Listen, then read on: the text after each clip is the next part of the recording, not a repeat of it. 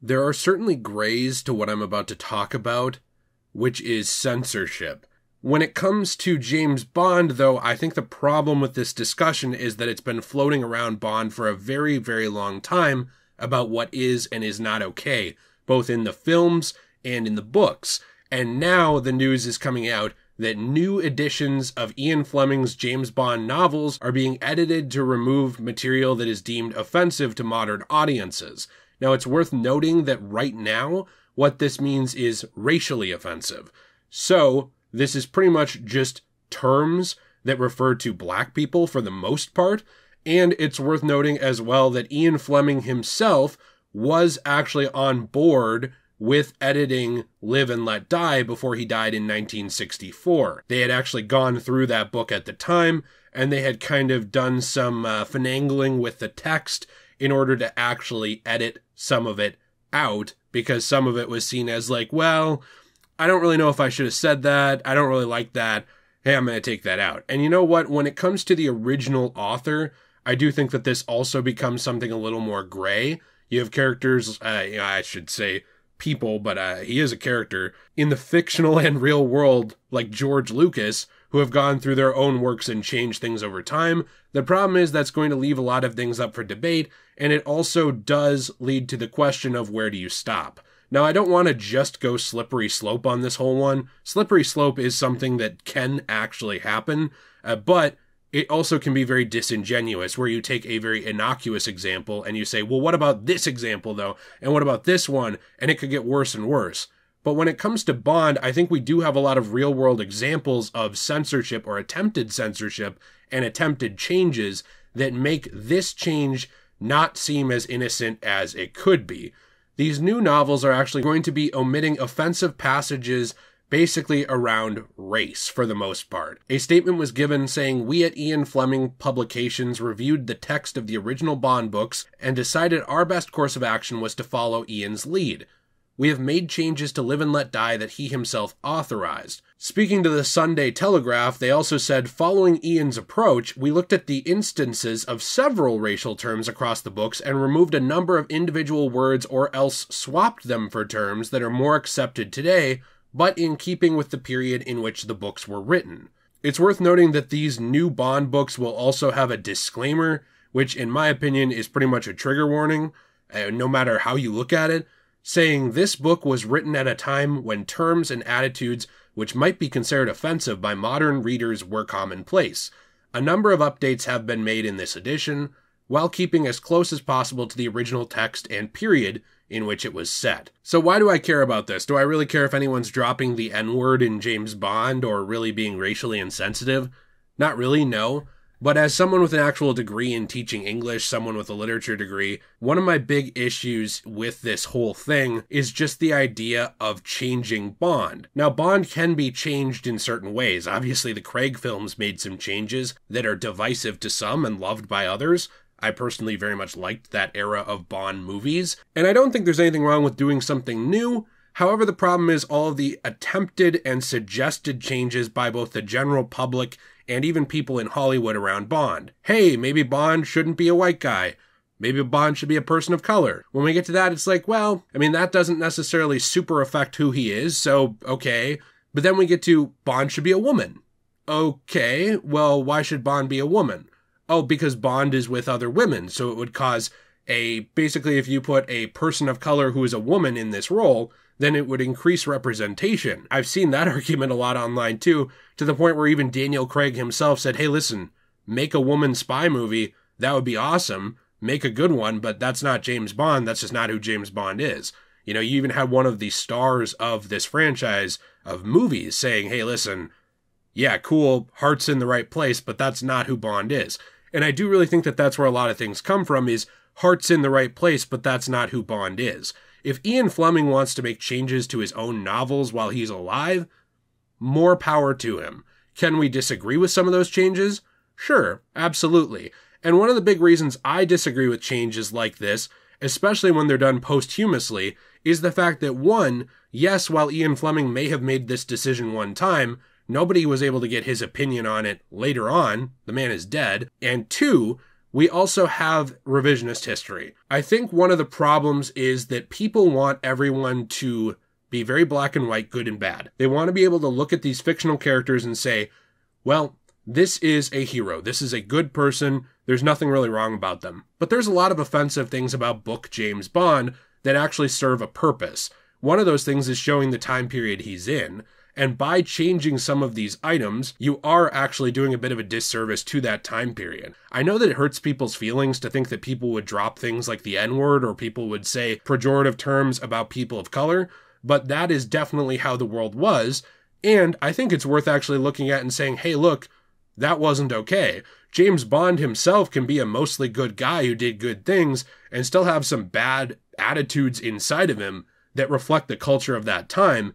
And I actually believe that changing those things changes who the character is in a lot of ways, believe it or not. That doesn't mean he has to outwardly be racist. It doesn't mean he outwardly has to be an asshole. But I do think that when you start fiddling with these things and actually changing them around and trying to appease modern audiences by changing the old work, you're doing a bit of a disservice to history. Because I think it's worth looking at and noting hey, this was not good. This was not an okay way to talk. Even though it was at the time, this never really should have been okay without actually changing it. Because now we're actually just removing it as if it never happened. We're covering it up. That to me doesn't seem like progressive. That to me comes off as revisionist history. Let's pretend Bond never said that. Let's uh, let's take that out.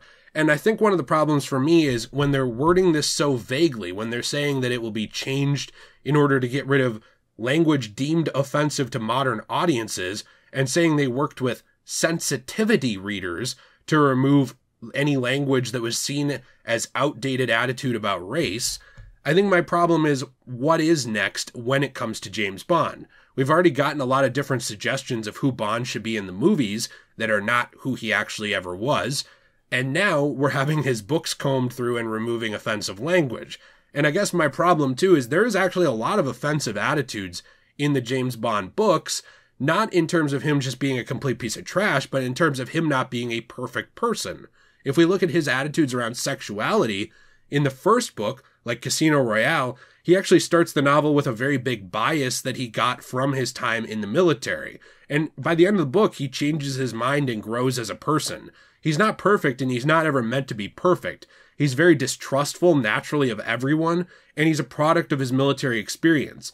And you can't actually look at people alive in the 40s and act like they trusted everyone or they were very good people, or even look at them and think they all had good attitudes about women. You know, a good example of this is very obviously the unfortunate true to life character of the 1950s and 60s man who would go to work, come home angry and upset, and hit his wife. I don't think we should just pretend that kind of thing didn't happen or that kind of attitude didn't exist just because it's uncomfortable, so we take it out now. I think it's worth looking back at the past and saying, wow, we've come further than that. Especially when you look at the, you know, who Bond is in his line of work, where he's pretty much this secret agent who has to deal with a lot of distrust, anger, and a lot of crap. I was talking to friend of the channel, my personal friend Seth, who is our resident Bond expert, and he pointed out some of the examples from Fleming's work that wouldn't necessarily be considered progressive or great by any means, but actually played into who James Bond was as an imperfect character. It's worth noting that, especially around Vesper, who's a character who matters a lot in Casino Royale, there's an entire passage in the book about how much he hates that she's on the trip as well, talking pretty much about how women are just baggage and good for sex. It was showing that Bond was not a great guy at the beginning, but at the end of the book, he's in love with her and his feelings towards women change. This is a character that changed over time and became a better person. And that happens as well in a lot of his novels, where he pretty much changes some of his ideas over time. He even goes from viewing this person as baggage to visiting her gravesite every year and very, very openly grieving her passing. And I think that it's really interesting because you also can see that he doesn't actually refer to women as sexual objects after that. He has real relationships with many of them, such as Tiffany and Diamonds Are Forever. By the end of the book, they're together, and in the next one, it describes how they drifted apart naturally and they didn't work out. Bond went from being a person that was kind of dehumanizing towards women and dehumanizing towards other people as someone who grew over time. And in a lot of ways, Ian Fleming was actually pretty progressive in the way that he wrote his characters. They were flawed, they weren't just good people because of who they were, and they could change over time and become better, but they were never perfect. They were never characters. And I think for me, whether Fleming was on board or not with changing some of his own works, now unfortunately the man is not alive. It's 2023, and going back and changing these things and revisionist historying it isn't really doing anyone any favors. You know, I think it's very actually okay to be offended by something. I think that's actually a very natural response to being a human, is to be offended by something. You know, you turn on something on TV and it's talking about some horrible crime. And one of the first things you should probably feel is offended that this is happening, that this exists. That outrage, that moral outcry inside of you is a good thing, I truly believe. But I think that when it's turned into something like this, where we're getting sensitivity readers to comb through and change a publication as if none of it ever happened, and as if this character was just a much better guy who was better than the time period he was in, I think that that's a little ridiculous.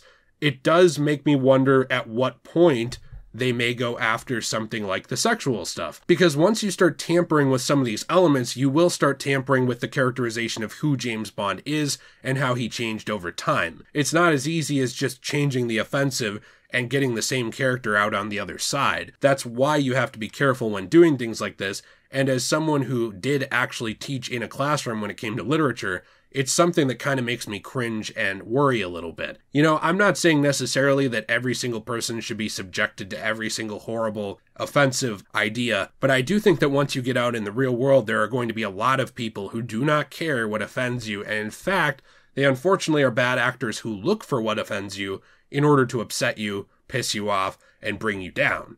And by sort of giving into that in every avenue, including books, and avoiding it at all costs, I think that that just kind of makes you not prepared for when you actually do get out into the real world and unfortunately have to deal with those people and attitudes in person. It's something that doesn't only do a disservice to Bond, it does a disservice to the past by giving it a pass, by acting like the past was better than it was. And I've even seen examples of this where certain schools won't teach the horrible things that happened in World War II because they're deemed offensive. You are giving the past a pass for being horrible just because you don't want to upset people today. It's worth upsetting people today by looking back and seeing what was bad then that was considered acceptable then and seeing how far we've come and noticing how far the, even the character of Bond has come, how far the writing has come, that doesn't mean anything against Ian Fleming. It just means he was a man born in a different time than we were, writing a different type of stories, and now the character has evolved over time in different ways, some certainly different than the books, and definitely up to the reader or the viewer on screen with the movies if they're better. But when it comes down to editing history, that's something to me that's usually just a no. I'm not a fan. Let me know what you think in the comments down below. Please be sure to leave a like and subscribe if you enjoyed this video. I appreciate you very, very much. We are over 115,000 subscribers. And of course, I know that this, it can be a little bit like, uh, well, you know, I don't want to upset people. And I don't really want to actively upset people on purpose either. That's never been my goal. It's just that when it comes down to it, I think that there are certain things that once you start messing with, it becomes hard to stop fiddling with them, to stop going through them, and stop kind of policing it. And I think that we need to hold the past accountable without changing it. But let me know what you think down there in the comments. If you are interested in supporting this channel, the join button down there is now active for memberships. There's a lot of different goodies you get by joining that up, and it does help support my channel going forward. Have a fantastic day, and as always, everyone, stay shway.